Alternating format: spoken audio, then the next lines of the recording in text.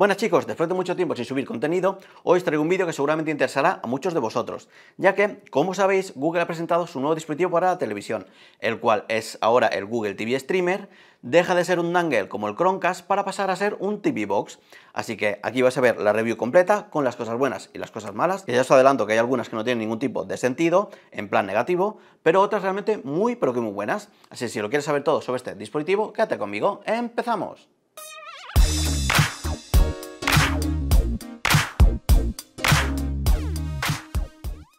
Vale chicos, ya estamos aquí. Para empezar, ¿qué encontraremos en el interior de la caja? Pues encontraremos un cable de USB tipo C o USB tipo A, que es el típico que incluye Google en sus dispositivos, en la mayoría de ellos, el adaptador de corriente de 5 voltios y 1,5 amperios, las instrucciones, que son dos libritos muy compactos, pequeñitos y muy simples, seguidamente el mando, que es muy parecido al del Chromecast con Google TV, pero en este caso los botones de volumen ya no están en el lateral, sino que están en el frontal con todos los demás. Y además chicos, como podéis apreciar, ahora hay un botón de una estrella el cual nos va a permitir crear accesos directos. Más adelante os comentaré más en profundidad este tema. En la parte trasera tenemos un mini altavoz y funciona por Bluetooth y por IR. También encontraremos lógicamente las pilas para este mando y por último el Google TV Streamer, que como veis tiene un diseño muy minimalista, típico de los dispositivos de Google para la televisión, pero en este caso es un formato más de TV Box. Cuando yo lo fui a comprar solamente estaba el color que estáis viendo, que es el blanco porcelana, pero también hay otro que es verde, que solamente está disponible para Estados Unidos, si no me equivoco. En la parte trasera encontraremos todos los puertos, el puerto HDMI 2.1, puerto Ethernet gigabit, que se agradece muchísimo, el puerto USB tipo C, que no solamente sirve para alimentar el dispositivo, el TV Box, sino que también para los datos. Para ello, lógicamente, vamos a necesitar un hub, que no necesariamente tiene que ser el que estáis viendo en pantalla, podéis coger otro mucho más sencillo y barato, ya que el que os estoy mostrando cuesta unos 40-50 euros. Pero sí o sí debe tener alimentación externa, ya que a través de este hub vais a alimentar el propio TV Box, ¿de acuerdo? Una vez conectado este accesorio ya podemos utilizar almacenamientos externos, que sí o sí debe estar en FAT32 porque yo el que conecté en NTFS me lo expulsó directamente. En FAT32 no he tenido problemas para, para que lo reconozca. Por último vemos un botón. Como os he comentado anteriormente, el mando tiene un mini altavoz en la parte trasera. Pues ¿para qué sirve? Realmente es muy útil porque si pulsamos este botón del TV Box va a empezar a pitar el mando. Entonces, si lo hemos perdido, ya sabes que es muy común que se nos pierda entre los cojines del sofá, etcétera, pues empezará a pitar pues bastante alto, la verdad. Os dejo una grabación que he hecho para que lo podáis comprobar.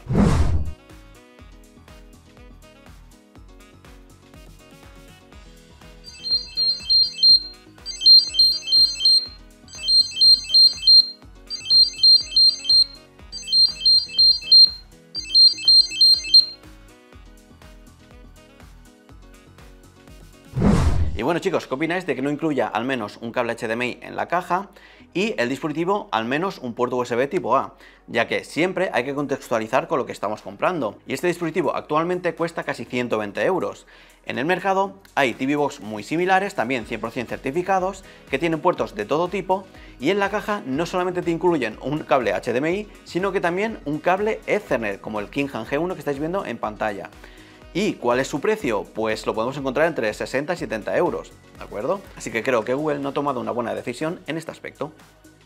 Como sistema operativo tenemos Google TV sobre Android TV 14, el cual me ha encantado muchísimo el funcionamiento, todo realmente muy fluido, es algo que ya me esperaba porque con el Chromecast con Google TV tuve una experiencia muy similar cuando lo compré y en este caso pues es incluso un poquito mejor, ya que es un poco más potente como veréis más adelante. Apertura de aplicaciones ágil, en general pues muy bien. Lógicamente como no podía ser de otra forma vamos a disponer de Chromecast integrado. Y en lo referente a opciones interesantes que me gustaría comentaros está por ejemplo el auto refresco. La mayoría no disponen de esta función y esto es realmente un punto muy positivo de este aparato. Otra que me ha gustado mucho es que directamente desde la interfaz del Google TV Streamer podemos acceder a Google Home y controlar por nuestras luces, enchufes. Como podéis apreciar, pues apaga y enciende perfectamente la lámpara que tengo en el techo, también los LEDs que tengo para las figuras y en definitiva pues he tenido también buena experiencia. Se agradece que el TV Box no solamente nos sirva pues para consumir contenido multimedia, sino que además tenga otras funciones extra. Otra cosa que me ha gustado bastante es el tema del botón de la estrellita que os he comentado al principio que tenía el mando, al cual le podemos asignar accesos directos. Es decir, yo por ejemplo lo tengo que me abra Google Home, pero vosotros podéis darle la función para que abra cierta aplicación que os venga bien a vosotros o que más utilicéis, ¿ok? Como por ejemplo, como veis, yo le he asignado HBO Max y en cuanto aprieto el botón, pues ya tenemos ahí HBO Max abierto. Y por último, comentaros en lo referente a las aplicaciones que no solamente vamos a poder instalar apps a través de la tienda de aplicaciones de Google TV, sino que además de forma externa. Google sigue dejándonos instalar APKs de forma externa y esto para muchos usuarios es una muy buena noticia. Solo que tenéis que tener en cuenta una cosa. Como veis, en un principio no os lo va a permitir.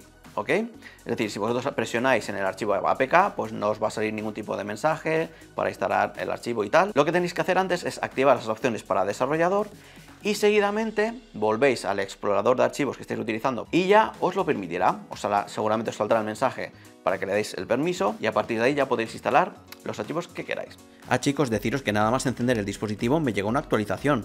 Ya sabéis que con los aparatos que fabrica Google normalmente el soporte de actualizaciones es muy bueno y sin duda uno de los puntos más fuertes del, tanto del Chromecast con Google TV como de este nuevo Google TV Streamer. Ok chicos, en lo referente a procesador y tal, ¿qué habrá decidido Google incorporar en este nuevo dispositivo? Pues ojo porque alguno se puede llevar las manos a la cabeza, ya que monta un procesador de MediaTek, concretamente el MT8696, que es un procesador de 4 núcleos Cortex A55 a un máximo de 2 GHz. Viene acompañado por la GPU Power VR Rogue G9215 y además tenemos 4 GB de memoria RAM, que está bastante bien en este sentido, y 32 GB de almacenamiento interno. Los que normalmente veis mis vídeos, alguno ya se habrá percatado de que este procesador es el mismo que incorpora el Amazon Fire TV Stick 4K Max.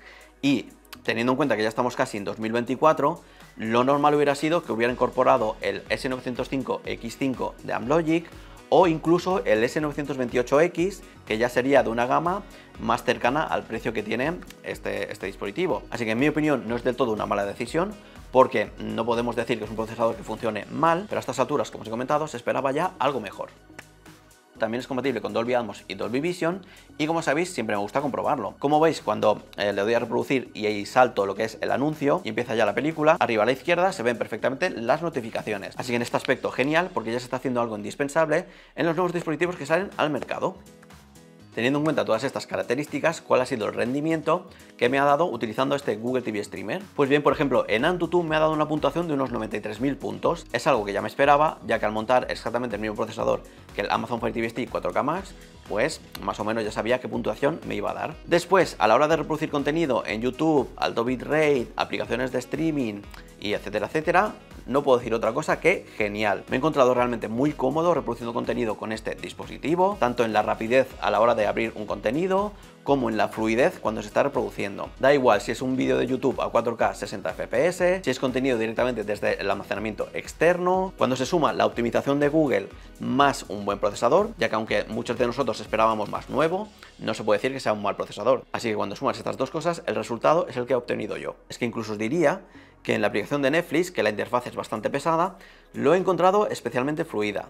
En la mayoría de tipos de gama media siempre hay pues, bastantes tirones y tal, y aquí la verdad es que nada, ni en la reproducción, ni mientras estaba en la interfaz, ni absolutamente nada.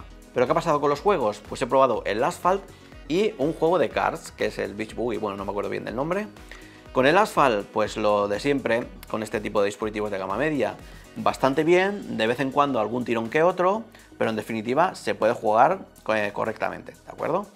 Al Beach Boogie, pues más o menos lo mismo, incluso mejor, porque el Beach Boogie tiene unos gráficos peores que el Asphalt y lo mueve pues todavía con más altura. La verdad es que no es el mejor dispositivo para jugar ni a estos juegos ni a emuladores. Si queréis un TV certificado que vaya muy bien también con los juegos, pues a día de hoy el mejor sigue siendo la Nvidia Shield TV. Sin certificar, ya os he comentado en mi anterior vídeo que hoy en día hay TV Box más potentes, pero si queréis TV Box certificado, sigue siendo la mejor opción, ¿vale? Para estas cosas. Aún así, para echar alguna partida de vez en cuando, es un TV Box que se puede utilizar, ¿ok? ¿Y qué tal me ha ido con la conexión a internet? Con el Wi-Fi, conectado por cable e incluso con el Bluetooth. Pues bueno, en lo referente al Wi-Fi, deciros que tiene Wi-Fi 5, ni siquiera tiene Wi-Fi 6 Casi en 2024, Google decide sacar su nuevo dispositivo y lo saca con Wi-Fi 5. Si me dices que es una pequeña empresa para hablar costes y tal, pues vale, pero estamos hablando de una de las empresas más grandes del mundo. De verdad que alguien venga y me lo explique. Aparte de esto, debo decir que por lo demás ha funcionado muy bien, no he tenido entrecortes ni absolutamente nada, me capta bastante buena velocidad, yo siempre pongo a la misma distancia todos los dispositivos que pruebo y pues he obtenido unos valores muy buenos. Y después conectado por cable ya ha sido genial. Al tener puerto gigabit he podido aprovechar la velocidad que tengo contratada al máximo prácticamente. Como veis me ha captado 920 de bajada y 973 de subida. En lo referente al Bluetooth, pues he conectado mi gamepad y también unos auriculares todo ha conectado perfectamente y en los auriculares no he tenido ningún tipo de entrecorte extraño ni nada que comentar. Así que bueno, en general chicos, bastante bien en todas estas cosas.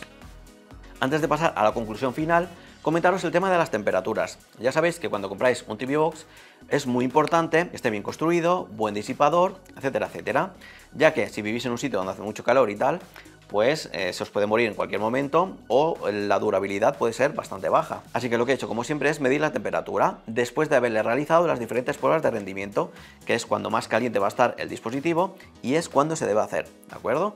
Como veis, suele estar en la zona más caliente en 40 grados. Me parece que está realmente muy bien, 40, 41 a veces, eh, dependiendo de dónde, 38, 37. Así que afortunadamente en este aspecto parece que Google ha hecho un buen trabajo.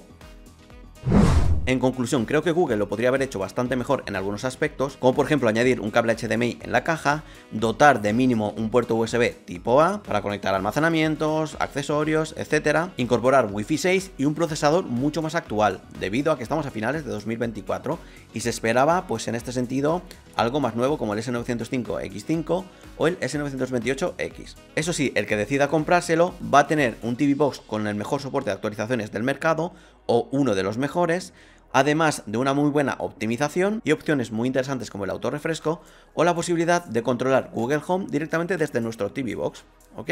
Eso sí, chicos, deciros que en el mercado tenéis TV Box que en mi opinión son bastante más completos que este Google TV Streamer y mucho más baratos, ¿de acuerdo?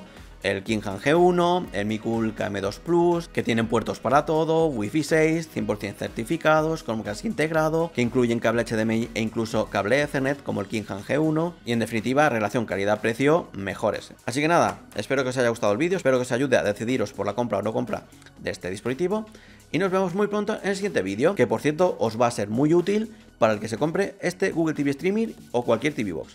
¿Ok? ¡Chao!